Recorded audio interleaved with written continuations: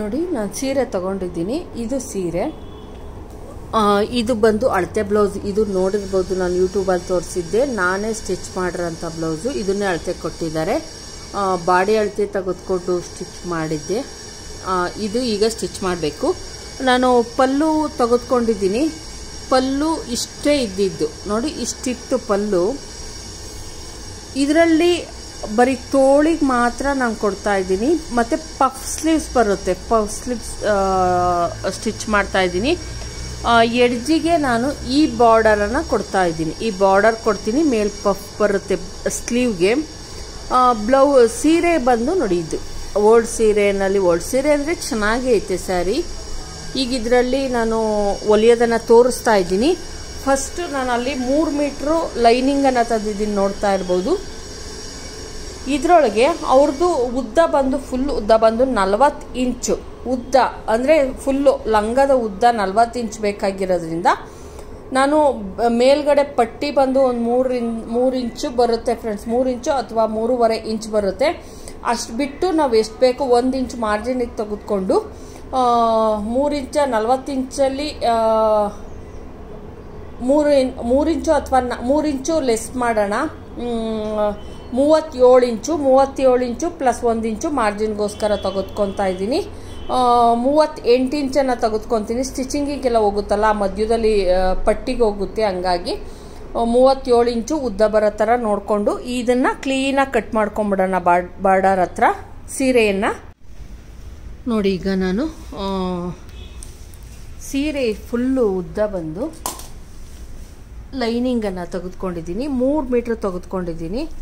ಇದನ್ನು ಕೂಡ ಅವ್ರದ್ದು ಸೊಂಟದ ಅಳತೆ ಬಂದು ಎಷ್ಟಿದೆ ಅಂತ ಅಂದರೆ ತರ್ಟಿ ಏಯ್ಟ್ ಇದೆ ಫ್ರೆಂಡ್ಸ್ ಅದನ್ನು ನಾನು ಇದನ್ನು ಅಷ್ಟೇ ತುಂಬ ತರ್ಟಿ ಏಯ್ಟ್ ಬರೋ ಥರ ನೋಡಿಕೊಂಡು ಈ ರೀತಿ ನೀಟಾಗಿ ಇದನ್ನು ಕೂಡ ಫ್ರಿಲ್ ದಪ್ಪ ಬರಬೇಕಂತ ಅವ್ರಿಗೆ ಲಂಗ ಹಂಗಾಗಿ ನೋಡಿ ಈ ರೀತಿ ಫ್ರಿಲ್ ಕೊಟ್ಟು ಹೊಲ್ಕೊಂಬಿಡ್ತೀನಿ ತರ್ಟಿ ಏಯ್ಟ್ ಬರೋ ಥರ ಫುಲ್ಲು ಇದಕ್ಕೆ ಇಲ್ಲಾಂದರೆ ಬೇಕು ಅಂದರೆ ನೀವು ಗುಂಡ್ಪಿನ ಸಹ ಹಾಕ್ಕೊಬೋದು. ತೋರಿಸ್ತೀನಿ ನೋಡಿ ಗುಂಡ್ಪಿನ ಹಾಕೋದು.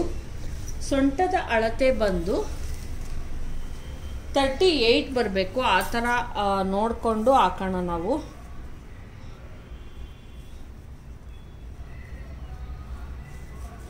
ನೋಡಿ, ಇಷ್ಟು ಬಿಟ್ಟಿದ್ದೀನಿ. ಇಲ್ಲಿ ಒಂದು ಇಂಚನ ಬಿಟ್ಟಿದ್ದೀನಿ.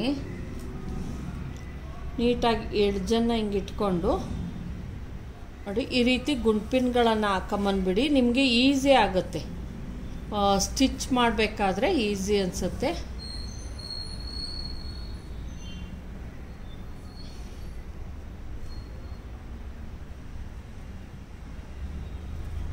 ನೋಡಿ, ಇಲ್ಲಿ ಇಷ್ಟಕ್ಕೆ ಹಾಕ್ಕೊಂಡೆ ನೆಕ್ಸ್ಟು ಈ ನೆರಿಗೆಗೆ ಈ ನೆರಿಗೆಗೆ ಹಾಕೋಣ. ನೀವು ಈ ರೀತಿ ಮಾಡ್ಕೊಳೋದ್ರಿಂದ ಸ್ಟಿಚ್ ಮಾಡಬೇಕಾದ್ರೂ ತುಂಬ ಈಸಿಯಾಗಿ ನೀವು ಮಾಡ್ಬೋದು. ನೋಡಿ, ಇಲ್ಲಿ ನಾನೇನು ಗುಂಪಿನ ಎರಡೂ ನೆರಿಗೆಗಳನ್ನು ಸೇರಿಸಿ ಈ ಥರ ಹಾಕೊಂಬಿಡಿ. ಇದು ಬಂದು ಲೈನಿಂಗ್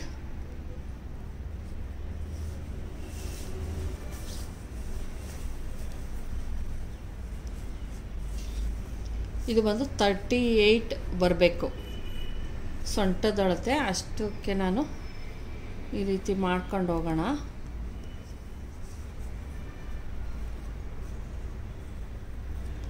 ಇದೇನು ಒಂದು ಸ್ವಲ್ಪ ಹೆಚ್ಚು ಕಡಿಮೆ ಆದರೂ ನಡೆಯುತ್ತೆ ಫ್ರೆಂಡ್ಸ್ ಈ ಥರ ನೀಟಾಗಿ ಎಲ್ಲ ಗುಂಡ್ಪಿನ್ಗಳನ್ನು ನೀಟಾಗಿ ಹಾಕ್ಕೊಂಬಿಡಿ ಈ ಥರ ನೋಡಿ ಈಗ ನಾನು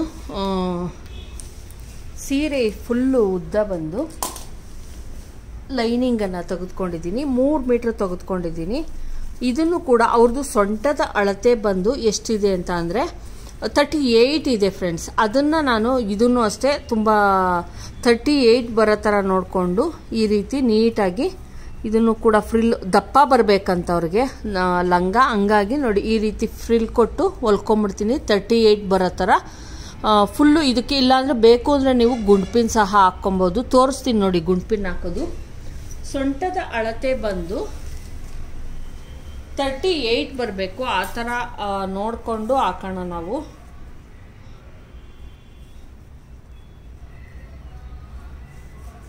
ನೋಡಿ, ಇಷ್ಟು ಬಿಟ್ಟಿದ್ದೀನಿ. ಇಲ್ಲಿ ಒಂದು ಇಂಚನ ಬಿಟ್ಟಿದ್ದೀನಿ. ನೀಟಾಗಿ ಎಡ್ಜನ್ನು ಹಿಂಗೆ ಇಟ್ಕೊಂಡು. ನೋಡಿ, ಈ ರೀತಿ ಗುಂಡ್ಪಿನ್ಗಳನ್ನು ಹಾಕೊಂಬಂದ್ಬಿಡಿ. ನಿಮಗೆ ಈಸಿ ಆಗುತ್ತೆ. ಸ್ಟಿಚ್ ಮಾಡಬೇಕಾದ್ರೆ ಈಸಿ ಅನಿಸುತ್ತೆ.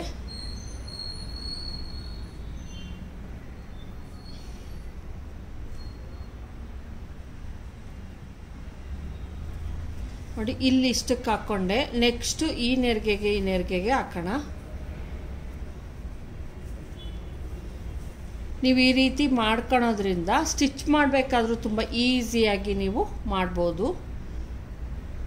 ನೋಡಿ, ಇಲ್ಲಿ ನಾನೇನು ಗುಂಪಿನ ಎರಡೂ ನೆರಿಗೆಗಳನ್ನು ಸೇರಿಸಿ ಈ ಥರ ಹಾಕೊಂಬಿಡಿ. ಇದು ಬಂದು ಲೈನಿಂಗ್.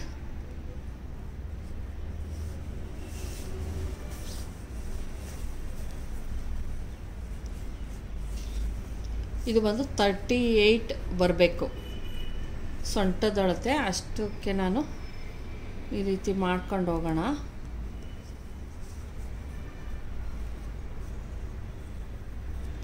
ಇದೇನು ಒಂದು ಸ್ವಲ್ಪ ಹೆಚ್ಚು ಕಡಿಮೆ ಆದರೂ ನಡೆಯುತ್ತೆ ಫ್ರೆಂಡ್ಸ್ ಈ ಥರ ನೀಟಾಗಿ ಎಲ್ಲ ಗುಂಡ್ಪಿನ್ಗಳನ್ನು ನೀಟಾಗಿ ಹಾಕ್ಕೊಂಬಿಡಿ ಈ ಥರ ನೋಡಿ, ಇಲ್ಲಿ ನಾನು ಕ್ಲೀನಾಗಿ ಈ ಥರ ಗುಂಡ್ಪಿನ್ಗಳನ್ನು ಹಾಕ್ಕೊಂಬಿಟ್ಟಿದ್ದೀನಿ ನೀವು ಸ್ಟಿಚ್ ಮಾಡೋದಕ್ಕೂ ತುಂಬ ಈಸಿ ಆಗುತ್ತೆ. ನೋಡಿ, ಈ ರೀತಿ ನೀಟಾಗಿ ಒಂದೇ ರೀತಿ ಬರೋ ಥರ ನಿಮ್ಮ ಸೊಂಟದ ಅಳತೆಗೆ, ನಿಮಗೆ ಎಷ್ಟು ಸೊಂಟ ಬೇಕೋ ಅಷ್ಟು ಅಳತೆಗೆ ಮೂರು ಮೀಟರ್ ಲೈನಿಂಗನ್ನು ತಂದಿದ್ದೆ. ಅದನ್ನು ನೀಟಾಗಿ ಈ ರೀತಿ ಗುಂಪಿನ ಹಾಕೊಂಡ್ಬಿಟ್ಟಿದ್ದೀನಿ. ಈಗ ಇದನ್ನೇನು ಮಾಡಬೇಕು? Full stitch ಹಾಕೊಬೇಕಾಗುತ್ತೆ.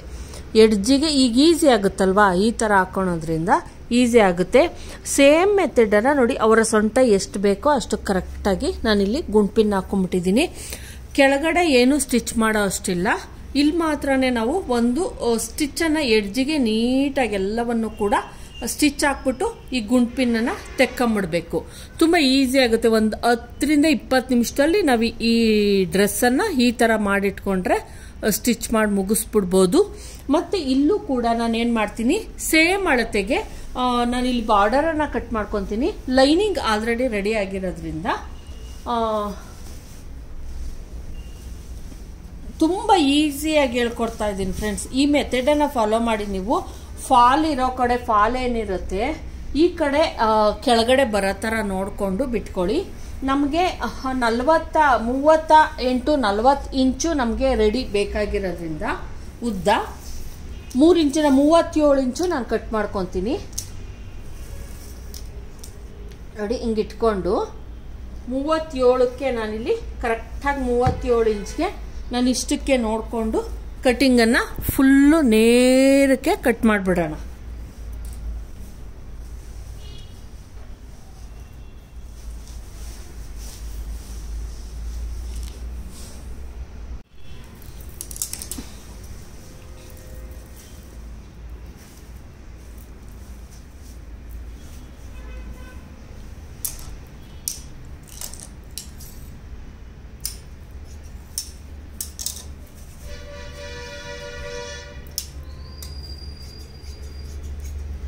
ನೋಡಿ ಫುಲ್ ಈ ಥರ ಕಟ್ ಮಾಡ್ಕೊಂಬಿಡಿ.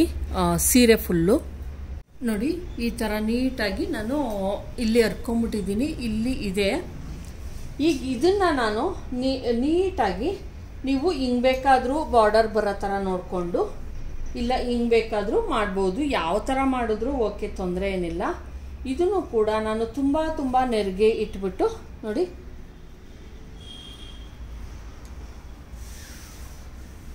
ಈ ರೀತಿ ಬರೋ ಥರ ನೋಡಿಕೊಂಡು ಇದನ್ನು ಕೂಡ ನೀಟಾಗಿ, ಇದು ಕೂಡ ಅಷ್ಟೇ ಬರಬೇಕು ಸೊಂಟದೊಳತೆ. ಸೇಮ್ ನೋಡಿ, ಹೀಗೆ ನೀವು ನೀಟಾಗಿ ಮಾಡಿಕೊಂಡು ಕುಂಪಿನ್ಗಳನ್ನು ಹಾಕೊಂಡು ಹೋಗಬೇಕು ಇದಕ್ಕೂ ಕೂಡ.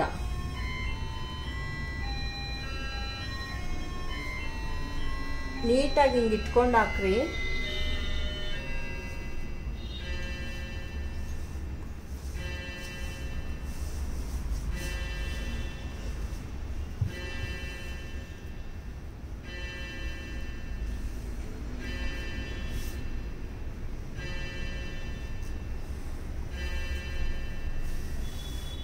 ಸೇಮು ನೋಡಿ, ಈ ರೀತಿ ನೀಟಾಗಿ ನೆರಿಗೆ ಬರೋ ಒಂದೇ ಸಮ ಇರಬೇಕು.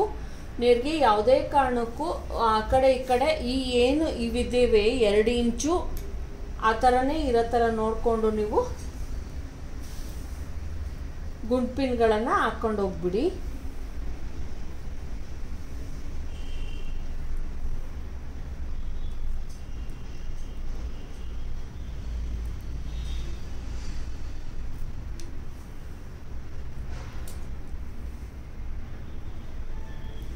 ಈ ರೀತಿ ಬಾರ್ಡರ್ ಸ್ವಲ್ಪ ಜಾಸ್ತಿ ಜಾಸ್ತಿನೇ ತೆಗೆದುಕೊಂಡು ಹಿಂಗೆ ಕೊಡ್ತಾ ಬನ್ನಿ ಅವಾಗೇನಾಗುತ್ತೆ ಲಂಗ ದಪ್ಪ ಬರುತ್ತೆ.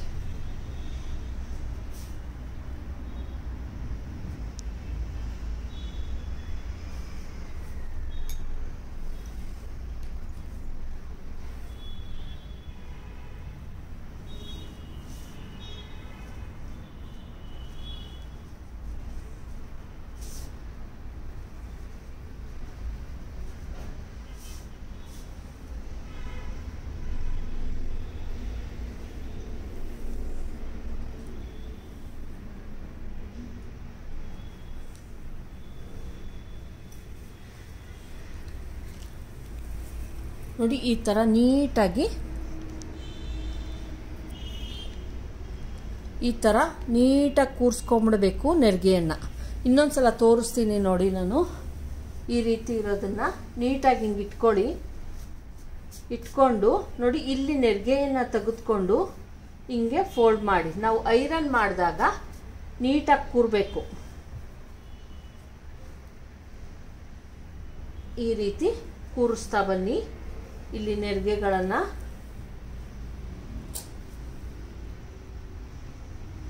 ಗುಂಪಿನ ಹಾಕಿ ಅವಾಗೇನಾಗುತ್ತೆ? ಈಸಿ ಆಗುತ್ತೆ ನಿಮಗೆ ಇದನ್ನ ಮಾಡೋದಕ್ಕೆ. ನೋಡಿ ನೆಕ್ಸ್ಟು ಅಷ್ಟೇ. ನಮಗಿದು ಅಷ್ಟೇ. ತರ್ಟಿ ಏಯ್ಟ್ಗೆ ನನಗೆ ಇದು ಸಿಗಬೇಕು. ಏನು ಮಾಡ್ಕೊಂಡಿದ್ದೀವಿ? ಅದು ನೆರಿಗೆ ಯಾವುದೇ ಕಾರಣಕ್ಕೂ ಹೆಚ್ಚು ಕಡಿಮೆ ಆಗಬಾರ್ದು. ಆ ಥರ ನೋಡ್ಕೊಳ್ಳಿ. ಮತ್ತು ಮೇಲ್ಗಡೆನೂ ಅಷ್ಟೇ.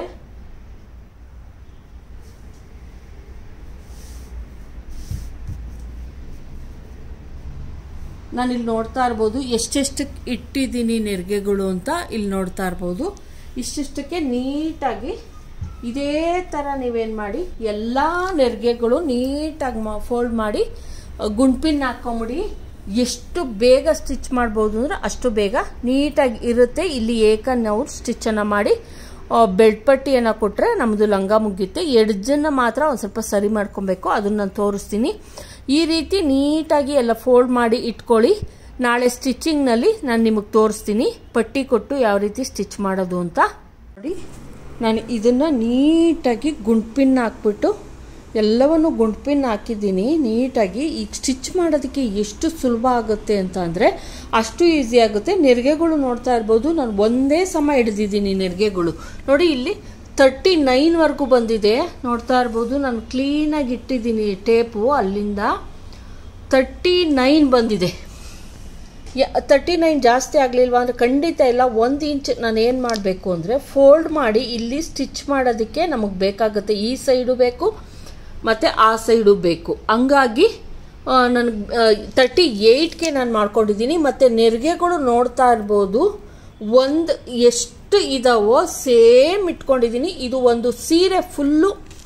ನಾನು ಪಲ್ಲು ಒಂದು ಬಿಟ್ಟು ಒಂದು ಸೀರೆ ಫುಲ್ಲು ತೆಗೆದುಕೊಂಡಿದ್ದೀನಿ ಫ್ರೆಂಡ್ಸ್ ಇದು ಈ ಥರನೇ ಕೂರುತ್ತೆ ನಾವು ವೇರ್ ಮಾಡಿದಾಗ. ಪಲ್ಲು ಇದು ನೀಟಾಗಿ ತುಂಬ ಜಾಸ್ತಿ ಜಾಸ್ತಿ ನಾನು ನೆರಿಗೆ ಕೊಟ್ಟು ಇಟ್ಟಿದ್ದೀನಿ. ಮತ್ತು ಇಷ್ಟು ಬಾರ್ಡರಿಂದ ಮೇಲ್ಗಡೆಗೆ ಏನಿತ್ತು ಅದನ್ನು ಅರ್ದಿದ್ದೀನಿ ಇದನ್ನು ನಾವು ಏನಕ್ಕೆ ಯೂಸ್ ಮಾಡ್ಬೋದು ಅಂದರೆ ನಾನು ಮೇಲ್ಗಡೆ ಬಾ, ಇದನ್ನು ಪಟ್ಟಿ ಏನು ಕೊಡ್ತೀನಿ? ಅದಕ್ಕೆ ಬಾರ್ಡರ್ ಕೊಡ್ತೀನಿ, ತುಂಬ ಫಿನಿಶಿಂಗ್ ಬರುತ್ತೆ ಗ್ರ್ಯಾಂಡಾಗೂ ಕಾಣಿಸುತ್ತೆ. ಅಂದರೆ ಮೇಲ್ಗಡೆ ನಾನೇನು ಪಟ್ಟಿ ಮಾಡ್ತೀನಿ ಅದು. ಇಲ್ಲಿಂದ ಇಲ್ಲಿಗೆ ಬಂದು ನಂದು ತರ್ಟಿ ಸೆವೆನ್ ಐತೆ ಫ್ರೆಂಡ್ಸ್ ತರ್ಟಿ ಸೆವೆನ್ ಐತೆ. ಮೇಲ್ಗಡೆ ಇಲ್ಲಿ ಹಾಫ್ ಇಂಚ್ ಹೋಗುತ್ತೆ. ಯಾಕಂದರೆ ಈ ಪಟ್ಟಿಯನ್ನು ಕೊಡ್ತೀನಲ್ಲ, ಅಲ್ಲಿ ಹಾಫ್ ಇಂಚ್ ಹೋಗುತ್ತೆ. ಮತ್ತು ಪಟ್ಟಿ ಬಂದು ನಾನು ನಾಲ್ಕು ಇಂಚ್ ತೊಗೊತೀನಿ. ನಾಲ್ಕು ಇಂಚ್ ತೊಗೊಂಡ್ಕೊಂಡ್ರೆ ಮಿನಿಮಮ್ ಒಂದು ಇಷ್ಟು ತೊಗೊತೀನಿ ಫ್ರೆಂಡ್ಸ್ ಫುಲ್ಲು ಇಷ್ಟು ತೊಗೊತೀನಿ. ಇಷ್ಟು ತೆಗೆದುಕೊಂಡ್ರೆ ಇಲ್ಲಿ ಹಾಫ್ ಇಂಚ್ ಹೋಗುತ್ತೆ, ಇಲ್ಲಿ ಹಾಫ್ ಇಂಚ್ ಹೋಗುತ್ತೆ. ನಮಗೆ ಇಷ್ಟು ಪಟ್ಟಿ ಸಿಗುತ್ತೆ, ಸಾಕಾಗುತ್ತೆ. ದಾರ, ಡೋರಿ ಕೂಡ ಮಾಡ್ತಾ ಇದ್ದೀನಿ. ಇದಕ್ಕೆ ಡೋರಿ ಯಾವುದೇ ಬೆಲ್ಟ್ ಅಲ್ಲ. ಡೋರಿ ಇಡ್ತಾ ಇದ್ದೀನಿ, ಅವ್ರಿಗೆ ಡೋರಿ ಇಡಬೇಕಂತೆ. ಹಂಗಾಗಿ ಡೋರಿ. ಮತ್ತು ಅದರಲ್ಲಿ ಸ್ಲೀವ್ ತೋಳಿಗೆ ಮಾತ್ರನೇ ತೊಗೊತಾ ಇದ್ದೀನಿ. ಈ ಕಲ್ಲರ್ದು ಬಟ್ಟೆ ತಂದುಕೊಡ್ತಾರೆ. ಅದಕ್ಕೆ ಪಫ್ ಸ್ಲೀವ್ಸನ್ನು ನೆಕ್ಸ್ಟ್ ವಿಡಿಯೋದಲ್ಲಿ ತೋರಿಸ್ತೀನಿ. ಇಲ್ಲಿ ಇಲ್ಲಿನೂ ತೋರಿಸ್ತೀನಿ ನೋಡಿ. ಇಲ್ಲಿ ಏನು ಲೈನಿಂಗ್ ಇದೆ. ಇದನ್ನು ಕೂಡ ನಾನು ಮೂರು ಮೀಟ್ರ್ ತೆಗೆದುಕೊಂಡು ಇದನ್ನು ಕೂಡ ನೀಟಾಗಿ ನಾನು ಸೇಮ್ ಮಾಡಿಟ್ಬಿಟ್ಟಿದ್ದೀನಿ. ಈಗ ಎಷ್ಟು ಈಸಿ ಅಂದರೆ ನೋಡಿ ಈ ಥರ ಮೆಥಡನ್ನು ಫಾಲೋ ಮಾಡಿ. ಗುಂಡ್ಪಿನ್ ಹಾಕೊಂಬಿಟ್ಟು ಇಲ್ಲ, ಅವಾಗಲೇ ಮಾಡ್ಕೊಬೋದಲ್ವಾ ಮೇಡಮ್ ಅಂದರೆ? ಓಕೆ, ಅವಾಗಲೂ ಮಾಡ್ಕೊಬೋದು, ಆದರೆ ಸೊಂಟದಳತೆ ಇದು ಬಂದು, ಇದು ಮತ್ತು ಇದು ಪರ್ಫೆಕ್ಟಾಗಿ ಮ್ಯಾಚ್ ಆಗ್ತೈತೆ ನಾನು ಫಸ್ಟು ಏನು ಮಾಡ್ತೀನಿ, ಇದೊಂದು ಸ್ಟಿಚ್ಚನ್ನು ಎಡ್ಜಿಗೆ ನೀಟಾಗಿ ಹಾಕೊಂಬಂದ್ಬಿಟ್ರೆ ಎಡ್ಜಿಗೆ ಅಂದರೆ ಹಾಫ್ ಇಂಚ್ಗೆ, ಇಷ್ಟಕ್ಕೆ ಸ್ಟಿಚ್ ಹಾಕೊಂಬಂದ್ಬಿಡ್ಬೇಕು. ಏನು, ಆಮೇಲೆ ಗುಂಡ್ಪಿನ್ಗಳನ್ನು ತೆಕ್ಕೊಂಡು ತೆಕ್ಕೊಂಡು ಸ್ಟಿಚ್ ಹಾಕೊಂಬಂದ್ಬಿಡಿ. ಇದನ್ನು ಸೇಮ್ ಮೆಥಡನ್ನು ಫಾಲೋ ಮಾಡಿ. ಆಮೇಲೆ ಇದು ಇದು ಸೇರಿಸಿ ಸ್ಟಿಚ್ ಮಾಡಬೇಕು. ಸ್ಟಿಚ್ ಮಾಡಿಬಿಟ್ಟು ನಾವು ಬೆಲ್ಟ್ ಪಟ್ಟಿಯನ್ನು ಹಚ್ಬಿಟ್ಟು ಲಾಸ್ಟ್ ಫಿನಿಶಿಂಗ್ ಇಲ್ಲಿ ಎಡ್ಜಿಗೆ ಸ್ಟಿಚ್ ಹಾಕಿದ್ರೆ ನಮ್ಮ ಲಂಗ ಮುಗೀತು. ಫಿನಿಶಿಂಗು ಕೂಡ ತುಂಬ ಚೆನ್ನಾಗಿ ಬರುತ್ತೆ. ನಾನು ಅದು ಸ್ಟಿಚಿಂಗ್ ವಿಡಿಯೋ ಖಂಡಿತ ಮಾಡ್ತೀನಿ ನೋಡಿ. ಮತ್ತು ಸ್ಲೀವ್ದು ಕೂಡ ಇರುತ್ತೆ. ಇದು ಬಂದು ನೀವು ಯಾವುದೇ ಲಂಗ ಬ್ಲೌಸ್ ಹೊಲಿರಿ ಫ್ರೆಂಡ್ಸ್ ಸೇಮ್ ಮೆಥಡನ್ನು ಫಾಲೋ ಮಾಡಿ. ನಾರ್ಮಲ್ ಲಂಗ ಬ್ಲೌಸ್ ಹೊಲಿರಿ ಬಾಡಿ ಲಂಗ ಹೊಲಿರಿ ಲೈನಿಂಗ್ ಹಾಕೊಲಿರಿ ಒಳಗಡೆ ಪೆಟ್ಟಿಕೋಟ್ ಅಥವಾ ಏನೋ ಹಾಕೋ ಅವಶ್ಯಕತೆ ಇರಲ್ಲ. ಈ ರೀತಿ ಮಾಡಿ ಇದನ್ನು ಈಗ ಐರನ್ ಮಾಡೋ ಐರನ್ ಮಾಡದೇ ಇದ್ರೆ ಚೆನ್ನಾಗಿರುತ್ತೆ ಫ್ರೆಂಡ್ಸ್ ಇವನ್ನೆಲ್ಲ ಐರನ್ ಮಾಡಬಾರ್ದು. ಐರನ್ ಮಾಡಿದ್ರೂ ಚೆನ್ನಾಗಿರುತ್ತೆ, ಐರನ್ ಮಾಡದೇ ಇದ್ದರೂ ಕೂಡ ತುಂಬ ದಪ್ಪ ದಪ್ಪ ಚೆನ್ನಾಗಿ ಕಾಣಿಸ್ತಾ ಇರುತ್ತೆ. ನಾನೆಲ್ಲ ಫಿನಿಶಿಂಗ್ ಆದಮೇಲೂ ಕೂಡ ತೋರಿಸ್ತೀನಿ ನಿಮಗೆ. ಯಾಕೆ ನಾನು ಇದನ್ನು ತೋರಿಸ್ತಾ ಇದ್ದೀನಿ ಅಂತಂದರೆ ನೀವು ನೀವು ಕೂಡ, ನಿಮಗೂ ಕೂಡ ಕೊಡ್ತಾರೆ ಸ್ಟಿಚಿಂಗ್ ಮಾಡೋದಕ್ಕೆ. ಅವಾಗ ಈಸಿ ಆಗಬೇಕು ಸ್ಟಿಚ್ ಮಾಡೋದಕ್ಕೆ. ಈ ರೀತಿ ನೀವೇನು ಮಾಡಿ ಎಷ್ಟು ಉದ್ದ ಬೇಕೋ ಅಷ್ಟನ್ನು ನೀಟಾಗಿ ಕಟ್ ಮಾಡ್ಕೊಂಬಿಟ್ಟು ಈ ರೀತಿ ಗುಂಡ್ಪಿನ್ಗಳನ್ನು ಹಾಕಿ ಸೊಂಟದ ಅಳತೆಗಿಂತ ಒಂದು ಇಂಚು ಎಕ್ಸ್ಟ್ರಾ ತಗೊಬೇಕು. ಯಾಕಂದರೆ ಇಲ್ಲೂ ಸ್ಟಿಚ್, ಈ ಕಡೆನೂ ಬೆಳ್ಪಟ್ಟಿ ಪಟ್ಟಿ ಹಚ್ಚತ್ತವ ಇಲ್ಲೂ ನಾವು ಒಂದು ಸ್ವಲ್ಪ ಇಷ್ಟು ಒಂದೂವರೆ ಇಂಚ್, ಎರಡು ಇಂಚಷ್ಟು ಈ ಕಡೆನೂ ನಾವು ರೆಡಿ ಮಾಡ್ಕೊಬೇಕು. ಆ ಕಡೆನೂ ಕೂಡ ರೆಡಿ ಮಾಡ್ಕೊಬೇಕು. ಹಂಗಾಗಿ ಒಂದು ಇಂಚು ಸೊಂಟದ ಅಳತೆಗಿಂತ ಒಂದು ಇಂಚ್ ಎಕ್ಸ್ಟ್ರಾವನ್ನು ನಾನು ಆ ಕಡೆನೂ ಬಿಟ್ಕೊಂಡಿದ್ದೀನಿ, ಈ ಕಡೆನೂ ಬಿಟ್ಕೊಂಡಿದ್ದೀನಿ. ಈ ರೀತಿ ಮಾಡ್ಕೊಂಬಿಟ್ರೆ ಈಸಿಯಾಗಿ ಸ್ಟಿಚ್ ಮಾಡ್ಬೋದು. ಲಂಗವನ್ನು. ಯಾವುದೇ ಲಂಗ ಆಗಿರ್ಬೋದು. ಇದು ಬಂದು ದಾವಣಿ ಲಂಗದ್ದು. ನೀವು ಅಕಸ್ಮಾತು ಲೆಹೆಂಗಾ ಹೊಲಿತೀನಿ ಅಂದರೂ ಸೇಮ್ ಮೆಥಡನ್ನು ಈ ರೀತಿ ಮಾಡ್ಕೊಂಬಿಡಿ. ಸೊಂಟ ಎಷ್ಟಿರುತ್ತೋ ಅಷ್ಟಕ್ಕೆ ರೆಡಿ ಮಾಡಿಕೊಂಡು ಅಲ್ಲಿನೂ ಕೂಡ ಹಾಫ್ ಇಂಚ್ ಅಷ್ಟು ಎಕ್ಸ್ಟ್ರಾ ತೆಗೆದುಕೊಂಡು ನೀವು ಇಷ್ಟು ಹೊಲ್ಕೊಂಡು ಒಳಗಡೆ ಲೈನಿಂಗ್ ಕೊಡ್ತೀರಾ, ಎರಡು ಸೇರಿಸಿ ಸ್ಟಿಚ್ ಮಾಡಿಬಿಟ್ಟು ಸೈಡ್ ಫುಲ್ಲು ಸ್ಟಿಚ್ ಹಾಕೊಂಬಿಡಿ. ಫಸ್ಟೇ ಸ್ಟಿಚ್ ಹಾಕೊಂಡ್ಬಿಡ್ಬೇಕು. ಮೇಲ್ಗಡೆ ಪಾರ್ಟನ್ನು ಹೊಲ್ದುಬಿಟ್ಟು ಇದನ್ನು ಅಟ್ಯಾಚ್ ಮಾಡಿದ್ರೆ ನಮ್ಮ, ಏನು ಗೌನ್ ರೆಡಿ ಆಗುತ್ತೆ. ಈಗೆಲ್ಲ ಏನಂದರೆ ನೆರಿಗೆ ಕೊಟ್ಟು ಗೌನ್ ಹೊಲಿಯೋದು ಫ್ಯಾಷನ್ನು ಇದನ್ನೇ ಮೆಥಡ್ನ ಫಾಲೋ ಮಾಡಿ ಫ್ರೆಂಡ್ಸ್ ಅಲ್ಲಿ ನಾವು ನೆರಿಗೆ ಕೊಟ್ಕೊತೀವಿ ಅಂದರೆ ನಾವು ಎಷ್ಟೆಷ್ಟು ಕೊಡ್ತೀವಿ ಅನ್ನೋದು ಗೊತ್ತಿರಲ್ಲ.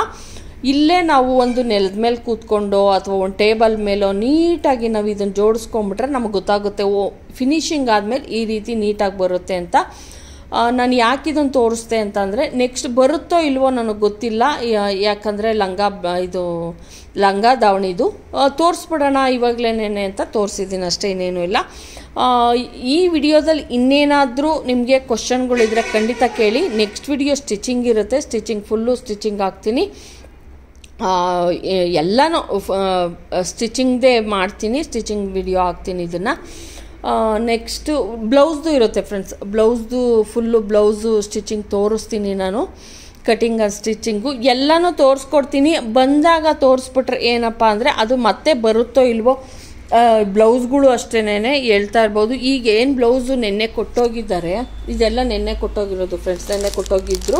ಎಲ್ಲ ಇಲ್ಲಿ ಇಟ್ಟಿದ್ದೀನಿ. ಇನ್ನು ತಗೊಂಡೋಗಿ ಕೆಳಗಡೆ ಇಟ್ಟಿಲ್ಲ. ಇವೆಲ್ಲವನ್ನೂ ಕೂಡ ಬೇರೆ ಬೇರೆ ಹೇಳಿದ್ದಾರೆ. ಬೇರೆ ಬೇರೆ ಥರ ಡಿಸೈನ್ಸ್ ಹೇಳಿದ್ದಾರೆ. ಎಲ್ಲವನ್ನು ತೋರಿಸಿದ್ರೆ ನಿಮಗೆ ಅಷ್ಟು ಗೊತ್ತಾಗುತ್ತೆ ಅಂತ ಅಷ್ಟೇನೇನು ಇಲ್ಲ. Thank you friends